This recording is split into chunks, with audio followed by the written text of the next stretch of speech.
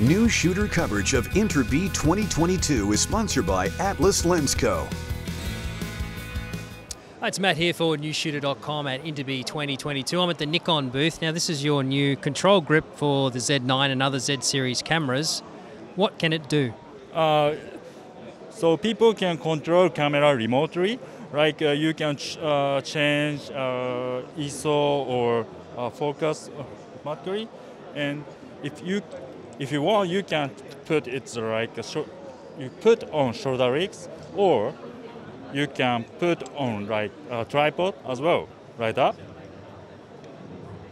So, this is essentially mimicking the control system of the camera that it's attached to. Uh, yes, exactly. And then, uh, for example, you can choose a menu, and uh, you, uh, you uh, also you can change uh, what format you shoot or what kind of uh, like uh, 8K or 4K. Is, is, uh, you can change it remotely.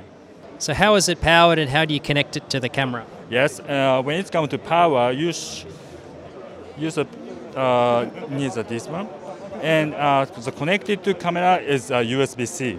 This cable. So, with the control grip, you can also program buttons, so function buttons like you can on the camera.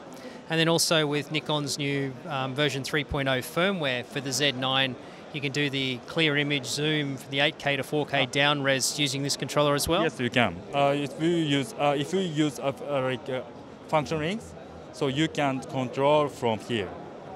And this would also be very handy if you mounted this onto the side of a gimbal as well. Yes, exactly. If you uh, when you use Zimba, so you don't have to touch on the cameras. Uh, uh, so yeah, uh, you can uh, you can control camera on your hand, uh, more handy.